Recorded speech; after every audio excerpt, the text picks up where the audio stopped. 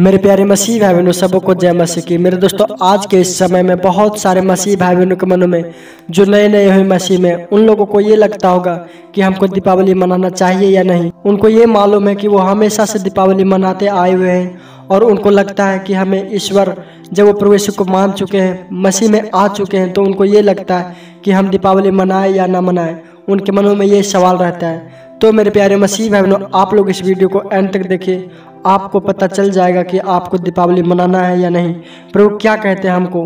तो आइए इस वीडियो को शुरू करते हैं। हम वचन निकालते हैं। रोमियो अध्याय बारह पद संख्या जब हम दो में पढ़ते हैं तो वहाँ लिखा है, आप इस संसार के अनुकूल ना बने, बल्कि सब कुछ नई दृष्टि से देखें और अपना स्वभाव बदल ले। मेरे प्यारे मसीह भाई प्रभु का वचन कहता है कि आप इस संसार के अनुकूल ना बने। आप जो पहले से करते आए हुए हैं उन सारे चीज़ों को बदल ले प्रभु कहता है, अपना स्वभाव बदल लो। ऐसा प्रभु बोलता है। तो आप लोग जो पहले से करते आए हैं, दीपावली मनाते आए हैं, हर एक हिंदू पर्व मनाते हुए आए हैं, आप लोग उन सारी चीज़ों को भुला दें, छोड़ दें और सब कुछ नई दृष्टि से देखें।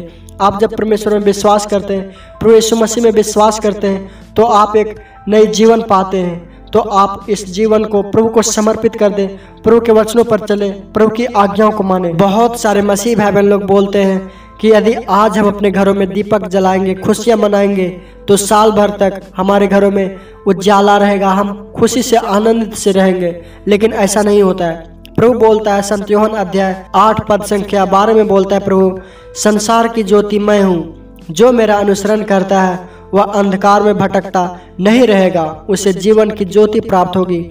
मेरे प्यारे मसीह बहनों प्रभु क्या बोला था? कि सब कुछ नई दृष्टि से देखो और प्रभु का अनुसरण करो। यदि आप प्रभु का अनुसरण करेंगे, प्रभु की महिमा करेंगे तो आपके जीवन में कभी कोई अंधेरा नहीं रहेगा। प्रभु आपके जीवन को प्रकाशमान करेगा, आपके जीवन से हर एक अंधकार को खत्म करेगा। इसलिए आप प्रभु का अनुसरण करें। प्रभु ही हमारे जीवन की ज्योति है, इस संसार की ज्योति प्रभु ही है। इसलिए आप प्रभु का अनुसरण करेंगे तो आपके जीवन में सदा के लिए अंधकार नहीं आएगा, अंधकार नहीं रहेगा। आपके जीवन में हमेशा के लिए प्रकाशमान होगा, आपके जीवन में हमेशा प्रकाशमान होगा।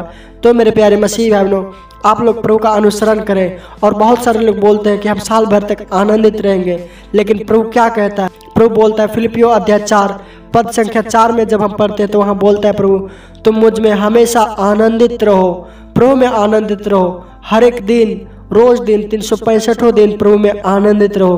प्रभु हमेशा बोलता है, खुश रहो, आनंदित रहो। जो प्रभु पे भरोसा करते हैं, उनके जीवन में कभी दुख, निराशा प्रभु आने नहीं देता। उनके जीवन में हमेशा खुशियाँ रहता है। वो संसार की चीज़ों के पीछे नहीं भागता है। वो प्रभु में आनंदित रहता है। तो मेरे प्यारे मसीह भाई बहनों, हम उम्मीद करते हैं कि आप लोगों को ये बातें समझ में आई होंगी।